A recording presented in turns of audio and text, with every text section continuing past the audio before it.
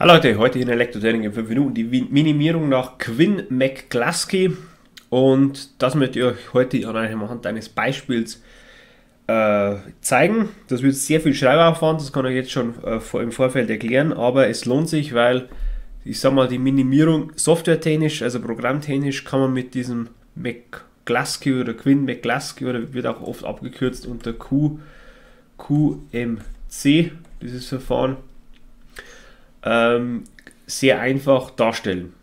Also händisch ist es schwierig, aber darstellen ist es im Computer ist es sehr einfach, viel einfacher wie zum Beispiel ein KV-Plan.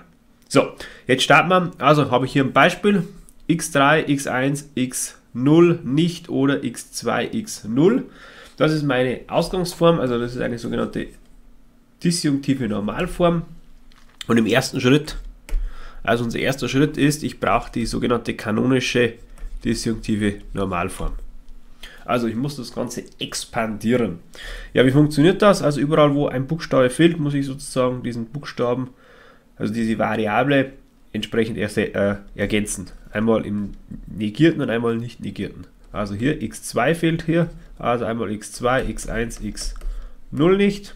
Also und jetzt das gleiche nochmal und jetzt hier mit x2 nicht. Also x3, x2 nicht, x1, x0. So, dann haben wir das. Der schon expandiert. Jetzt das nächste, plus. So, hier habe ich x2, x0. Das heißt, hier muss ich mit x1 und x1 nicht und mit x3 und x3 nicht expandieren. Also, gibt einmal x3, x2, x1, x0. Also beides von keines negiert. Dann x3 negiert. x2, x1, x0. So, dann das nächste ist x3, x2, x1, x0. Jetzt negiere ich hier das x1. Das ist jetzt schon das dritte und jetzt brauche ich noch ein viertes. Und das ist dann x3, x2, x1, x0 mit beiden Negationen.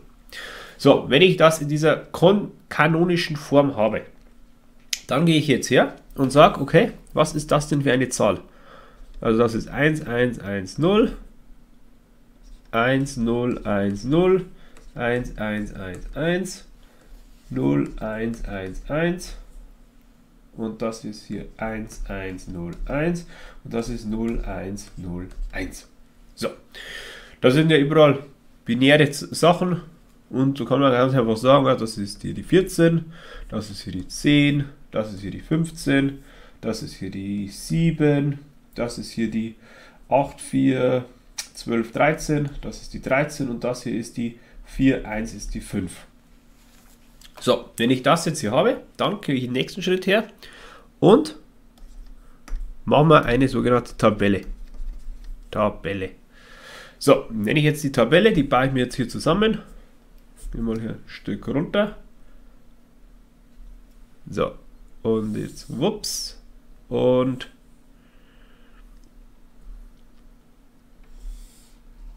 so. Und jetzt habe ich hier ja, x3, x2, x1, x0. Da muss ich schauen, dass ich das relativ sauber mache. Hier schreibe ich mir die sogenannten MINT-Terme auf also die ganzen MINT-Terme, die ich aus einer disjunktiven Normalform rausbekomme. So, und jetzt habe ich hier Zahlen 5, 7 und so weiter. Also kann ich jetzt hier schon mal anfangen. Fangen wir mal einfach hier an mit der 14. 14 ist 1, 1, 1, 0. Dann 10. 10 ist 1, 0, 1, 0. Dann die 15. 15 ist 1, 1, 1, 1. Dann hier die 7. Die ist 0, 1, 1, 1. Dann die 13, die ist 1, 1, 0, 1. Und hier noch die 5, die ist 0, 1, 0, 1. So. Ja, jetzt habe ich es in einer schönen Tabelle mir hingeschrieben. Jetzt kann ich noch einen Schritt weiter gehen. Das ist hier der nächste Schritt. Und zwar, jetzt ordne ich also drittens, das ist dann ordnen. Und zwar nach der Anzahl der Einser. Also wenn ihr hier die erste Zeile mal anguckt, dann habt ihr hier drei Einser. Ich schreibe es mal hier so hin, drei Einser. Wenn ihr die zweite anguckt, habt ihr hier zwei Einser. Dritte anguckt, vier Einser. Hier habt ihr drei Einser.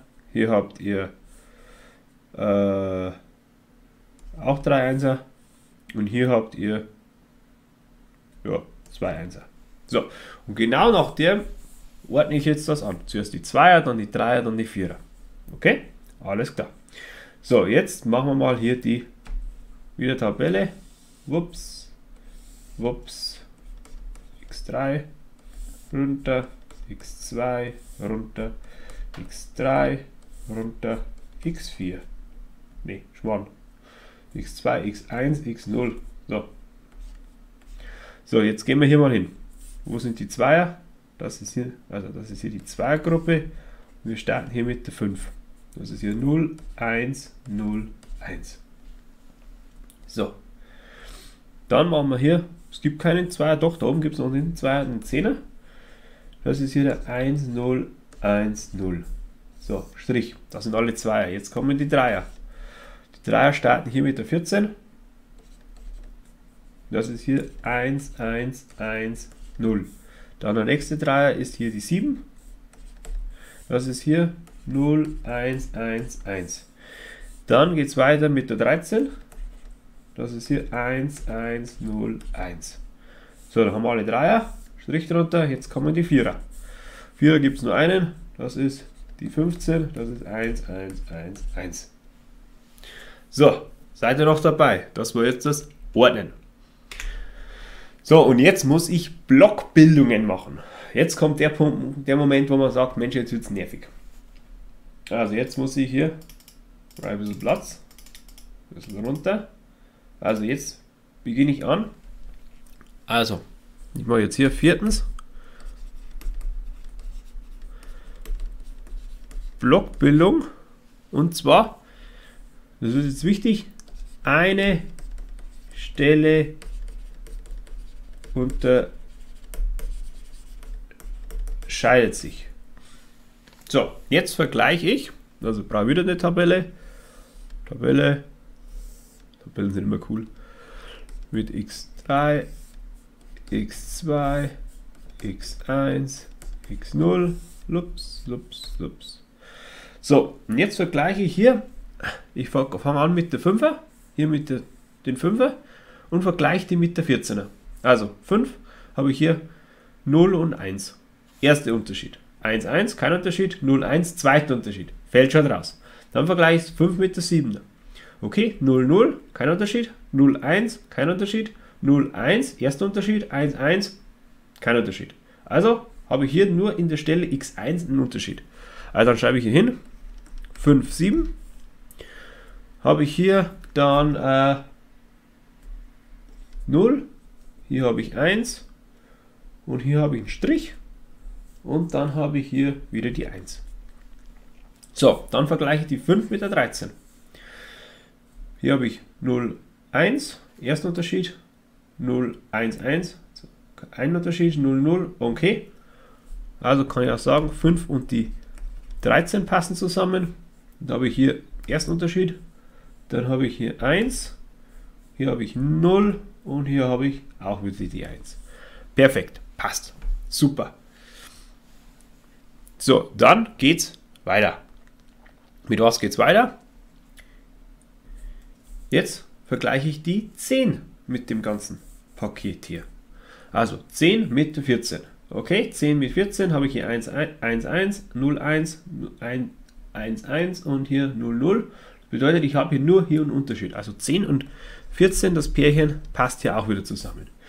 Das heißt, ich habe hier vorne einen Strich, das ist hier 1, äh, sorry, nee, ich habe einen zweiten Stellen Strich, hier bleibe ich bei der 1, hier habe ich die 1 und hier 1, 0. Das ist eine echte Konzentrationsgeschichte. So, dann 10 Meter 7.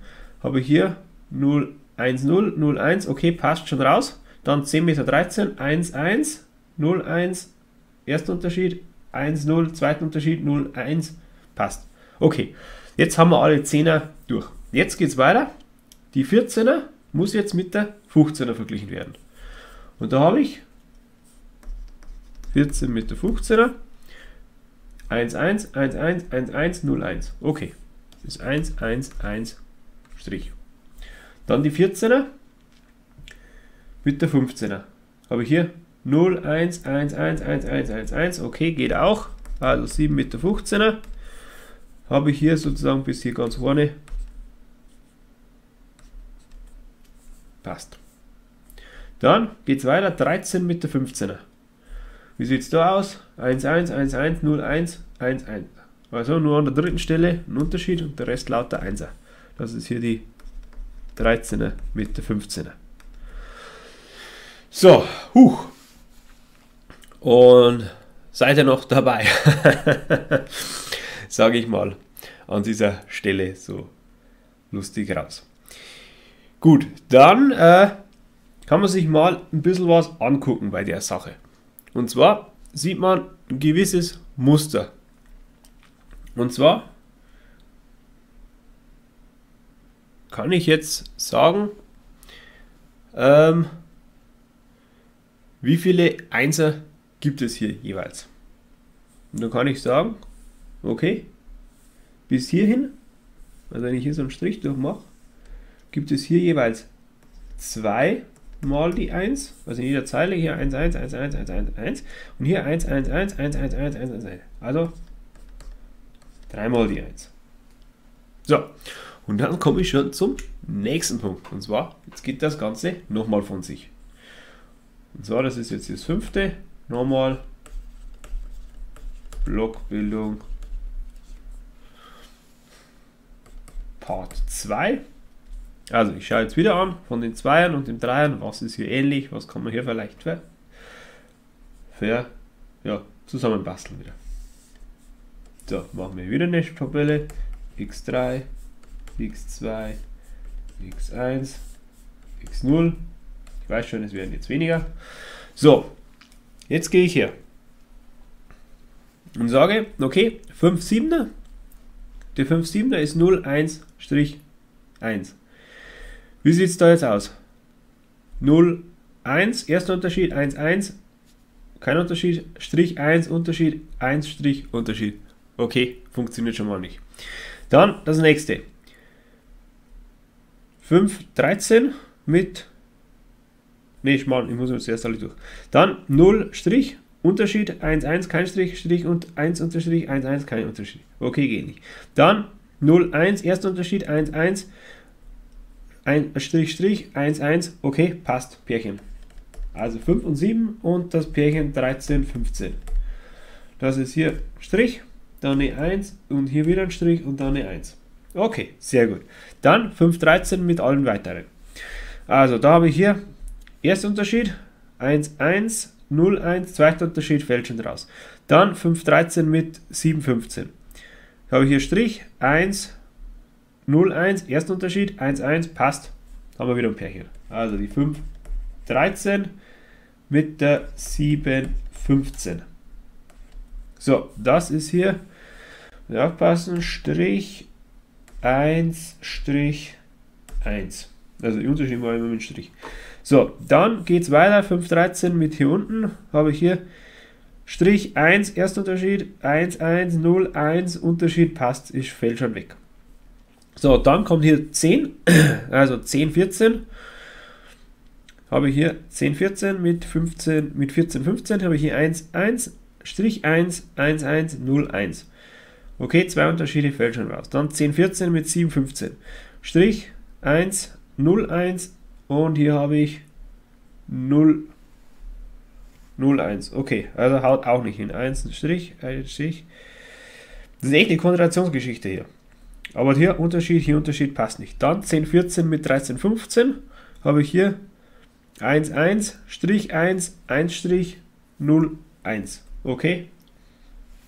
Dann geht nicht mehr. Also, mehr kann man sagen, geht nicht mehr bei der ganzen Geschichte. Und ja, da kann ich wirklich nur noch sagen, das war's. Kommt mir jetzt ein bisschen schnell vor, aber geht da echt nichts mehr. Muss ja noch mehr gehen. Kommt mir jetzt hier. Nee. Nee, schade. Nee, geht nicht. Also ich habe hier irgendwas übersehen, glaube ich aber nicht. So, dann, wenn wir jetzt diese Blockbildung haben, dann können wir jetzt sagen, okay, aus dieser Aussage hier kann ich jetzt hergehen und kann mir 1, 1, also kann ich sagen, okay, das ist jetzt hier nur noch äh, ja, x2, das ist jetzt hier x2 und hier habe ich x0. Kann jetzt hier draus schließen. So, und jetzt im letzten Schritt gehe ich in mein Tafelbildchen rein. Und in meinem Tafelbildchen habe ich die ganzen Zahlen hier 5, 10, 14, 17, 13, 15. Habe ich jetzt hier. Also ich habe jetzt hier 5, 7, was haben wir jetzt hier noch? 5, 7. Also alle, alle, die ich sozusagen habe. Das ist ein bisschen knifflig abzuschreiben.